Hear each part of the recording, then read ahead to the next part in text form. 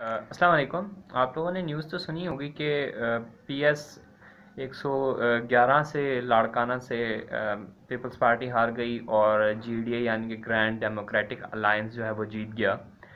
اب سننے میں بات بڑی اچھی لگتی ہے، لیکن میرا سٹینڈ ایسا ہے کہ یہ چیز غلط ہے۔ ہوا کیا ہے؟ اسی لیے میں سمجھانا چاہتا ہوں۔ گرینڈ ڈیموکریٹک الائنس یعنی کہ تمام جتنی بھی پارٹیز ہیں سندھ کی، وہ سب مل کے اکٹھی لڑ رہی تھی اور پیپلز پارٹی کے اگینسٹ اور وہ جیت گئیں۔ اب بیسکلی ہوگا کیا وہاں پہ کہ جس عوام نے پیپلز پارٹی سے تنگ آ کے ووٹ دیا ہے، ٹھیک ہے، کہ وہاں پہ کام نہیں ہو رہا اور تمام چیزیں جن چیزوں سے سب تنگ ہیں، ٹھیک ہے؟ کیونکہ جی ڈی اے نے اور یہ سب نے صرف ایک بائی الیکشن کے اندر جیتا ہے یعنی کہ ایک چھوٹے سے الیکشن کے اندر لیا ہے یعنی کہ ان کا ایک ہی پرسن آگے آئے گا یعنی کہ ایک ایم پی آگے آئے گا۔ اس کی وجہ سے ہوگا کیا؟ کیونکہ حکومت پہ کوئی فرق پڑے گا نہیں۔ حکومت پیپلز پارٹی کی ہی رہے گی۔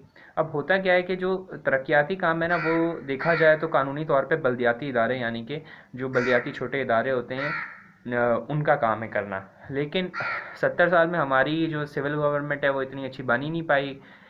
آتی تھی، ٹوٹ جاتی تھی، آتی تھی ڈکٹیٹرشپ آ جاتی تھی، جس کی وجہ سے کیا ہوتا رہا کہ ہماری حکومت بہت کمزور رہی، جس کی وجہ سے جو عوام تھی، وہ کیا چاہتی تھی کہ اگر ہم ووٹ دیں تو ہمیں کام چاہیے۔ تو اس کا سیاستدانوں نے یہ طریقہ نکالا کہ وہ M P M N A اس کو پیسے دے دیتے کہ آپ اپنے حلقے میں کام کریں۔ اب M P M N A کا کام بنیادی طور پہ حکومت سازی نہیں ہے، اس کا کام ہے قانون سازی، ٹھیک ہے؟ اب وہ بہت سارے جب قانون ساز مل اسمبلی میں مل کے بیٹھتے ہیں تو اپنا ایک لیڈر متعین کرتے ہیں اور وہ لیڈر جو ہے وہ پھر اپنے کچھ لوگ سلیکٹ کرتا ہے، اس کے تحت حکومت بناتا ہے۔ اب ہوگا کیا کہ جی ڈی اے کا ایک بندہ تو جیت گیا ہے، لیکن ہوگا کیا کہ چار سال پڑے ہوئے بھی الیکشن کے اندر۔ چار سال تک جب عوام دیکھے گی، ہم نے پیپلز پارٹی سے تنگ آ کے اس کو ووٹ دیا، اس نے بھی کوئی کام نہیں کروایا، کیوں نہیں کروایا؟ کیونکہ جو جو ایم پی اے کو پیسے ملتے ہیں، وہ بیسکلی گورنمنٹ دیتی ہے اور گورنمنٹ پیپلز پارٹی کی ہے تو پیپلز پارٹی تو کچھ بھی نہیں دے گی۔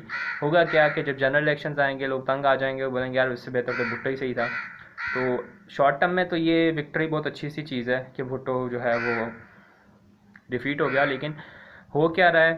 اس کا لانگ ٹرم میں کوئی فائدہ نہیں ہونے والا، الٹا نقصان ہی ہوگا۔ جس جن لوگوں نے ووٹ دیا تھا، باقی جو پارٹیز کو، وہ بھی جو ہے، وہ مایوس ہو جائیں گے اور اس کے بعد یا تو وہ ووٹ دینا بند کر دیں گے یا پھر وہ دوبارہ پیپلز پارٹی کی طرف چلے جائیں گے۔ تو لانگ ٹرم میں دیکھا جائے تو یہ چیز اچھی نہیں ہے۔ دیٹس آل یہ میرا اسٹینڈ ہے۔ میرا اوپینین ہے، غلط بھی ہو سکتا ہے۔ لیٹ می نو کہ آپ اس بارے میں کیا سوچتے ہیں۔